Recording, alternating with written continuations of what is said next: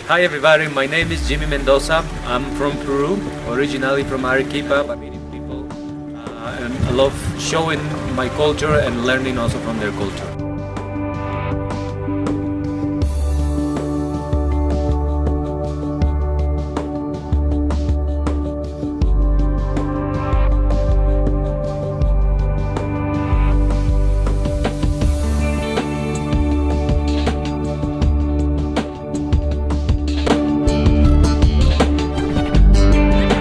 Everybody, it's me, Jimmy and Eric. We uh, we work with Vivi Travel.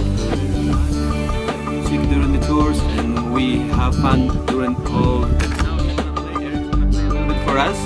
Yes, why not?